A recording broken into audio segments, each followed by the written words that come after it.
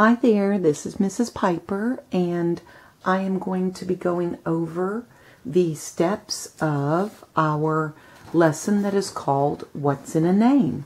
We're going to be using symmetrical balance to create a name design creature. Now, I've spread my camera up a little bit higher so you might see a, a lot of different things in the frame. So um, let me just go over what I have in front of me. First of all, I have the handout that you have or that you will have, and I've got the samples. The samples are actually photocopied on the back, but this is the original, so I've got single-sided versions. Okay? What's in a name? The, creating a symmetrical name design creature.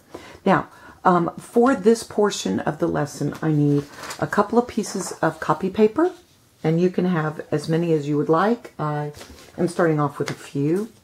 And I'm going to take my piece of copy paper and I'm going to fold it in half lengthwise.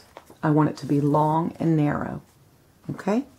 And, by the way, the fold for me happens to be at the bottom. Okay? If you fold it and you accidentally turn it over and you put the letters on the side that's open, it will not work. So put your fold at the bottom and I'm going to move this second sheet out of the way. And we're going to start with step number one. Remember, a criteria list is a list of things that you need to do to make sure your design is successful. Step number one, think of each letter in your name as a line and draw it. Okay? So, I've got my piece of paper that's folded in half, and I'm going to draw my name. Now, when I draw my name, I'm thinking of each letter as a line.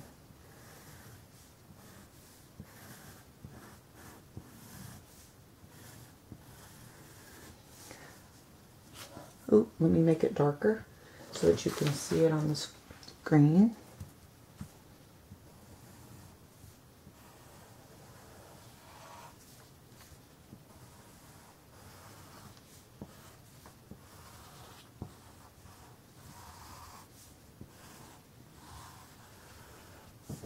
Okay, so there's my name in linear form. These are zigzag lines, curvy lines, etc. That was step one. Draw your name. Step two, make each line a shape by giving it an outline, okay?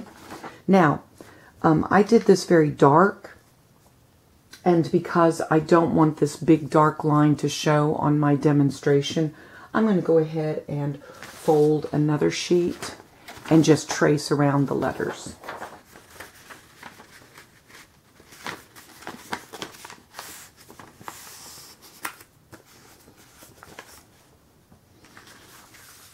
And this is just for me more than you. What you would do is you would you would lay it down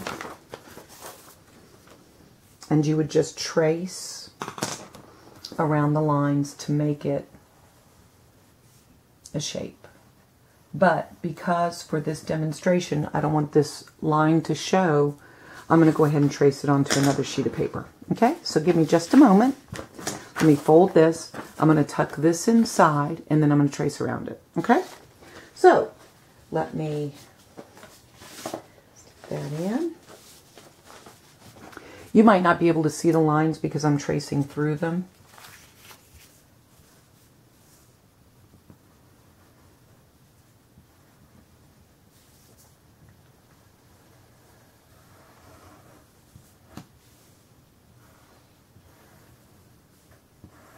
So now I've drawn my D as a shape. Here's my A. as a shape, my W.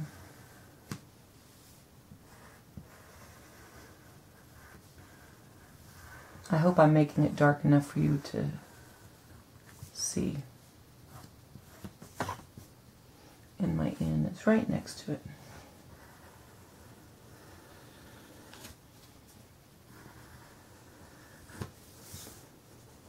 So there is my name as shape.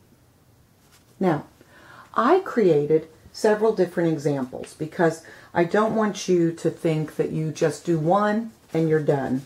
So let me show you the ones that I have. I um, did my name in all caps. This was the one I just did. I did my name in bubble letters, and you'll notice my low, my D was a lowercase d. You do not have to do uppercase. And I even did it in cursive. So again, I have taken my name, and I've thought of each letter in my name as a line, and I've drawn it. And then I've made each line a shape by giving it an outline. Now, for mine, I've given four different examples so that I can kind of pick and choose. I would like for each of you to have at least two or three. I think that would be terrific. And that concludes the first two steps. Again, you are creating a symmetrical name design creature. And that completes steps one and two. I'll see you in just a few minutes for the next step. Thank you for watching.